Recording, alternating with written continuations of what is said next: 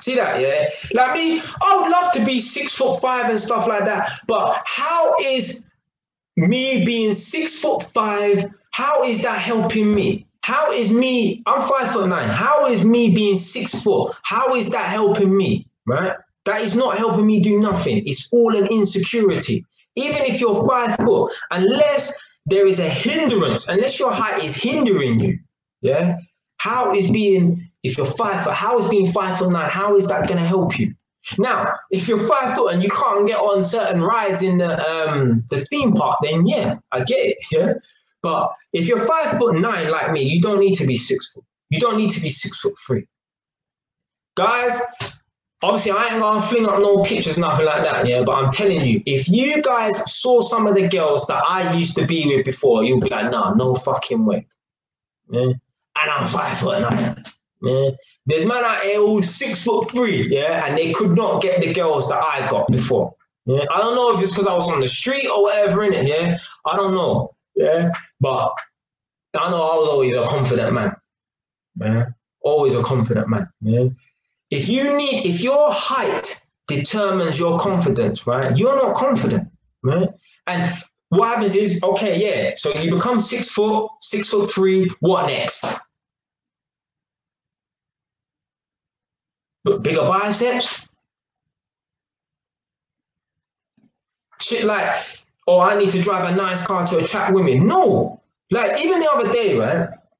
I got a, a Vauxhall Insignia to um because someone, some some girl must have damaged my car. So I got a Vauxhall Insignia in it. Nice car in it. Yeah. Now, personally, I wouldn't pick a Vauxhall Insignia to buy. I would never lease it. Like even if they, were even if I was leasing it for like hundred pound a month, I just I wouldn't want to tie myself down to a, a, a Vauxhall Insignia. I'd rather lease like a Mercedes or whatever. If I'm entering a contract, the car has to be a car that, like you know, of a certain caliber.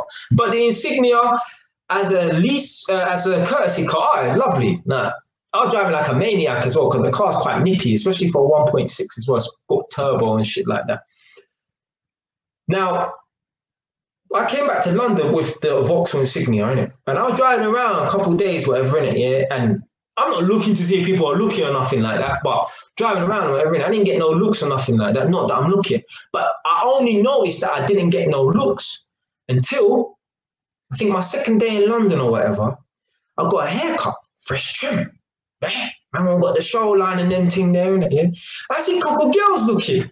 So I told my mum, yeah, and she was like, oh, they're just looking because they, they see you in a nice car. I was like, nah, they weren't just looking because of a nice car, they were looking at me. And that's the thing, right? I would never want to drive a nice car and have girls looking at me because I'm in a nice car. car. I want girls to look at me for me, not for the car that I'm driving. Yeah, you can't drive the car in a restaurant. You can't drive the car into the bedroom. Yeah, I want girls to like me for me. I want girls to know it's me for me, not because of what car I'm driving. Yeah, I want girls to like me because of just who I am as a person. Yeah, the internal attributes. Now, obviously, they like me because I'm good looking. Yeah, that's cool, it? That's something that's nat- comes natural. But that car don't come natural. Yeah?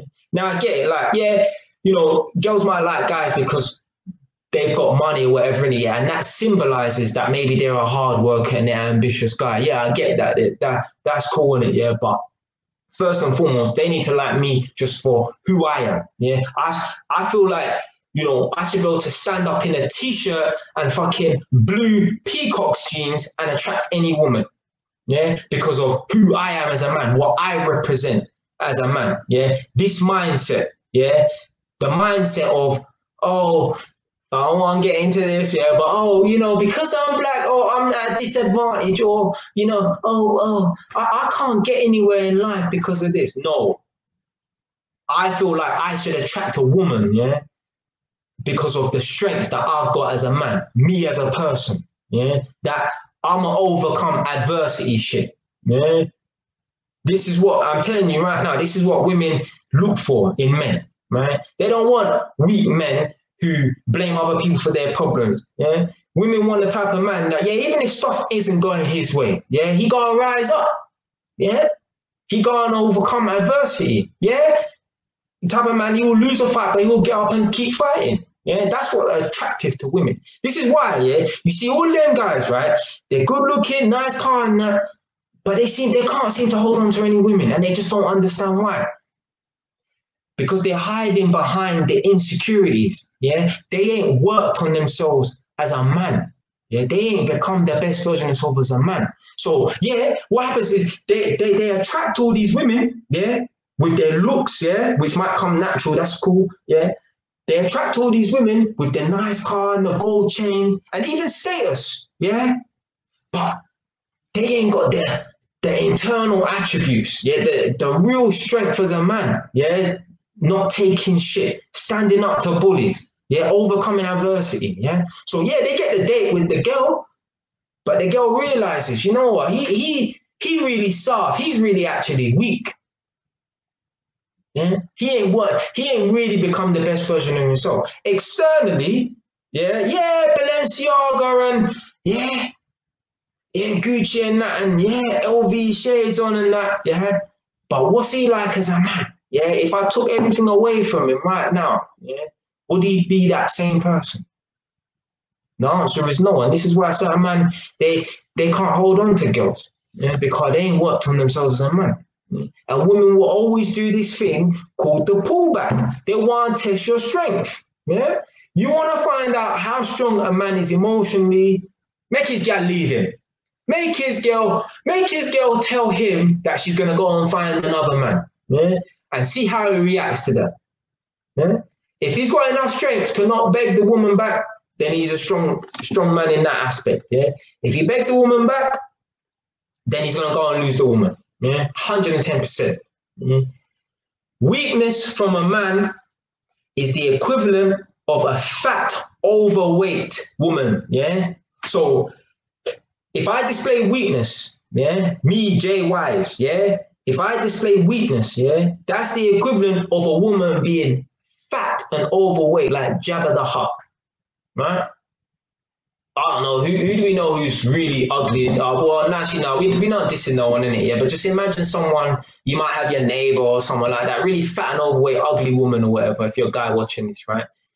If you act weak, yeah, you see how you look at her and you're like, ugh, I wouldn't even want piss upon her if she was on fire. Yeah, you see how you look at her. That's how a woman will look at you when you lose weakness, when you lose your strength, when you act weak. Yeah, when you act like you cannot survive without that woman. How the fuck? I started talking about appreciating what you have, and I'm talking about man losing women over weakness, man. it, it is what it is, yeah. I love how I just digress.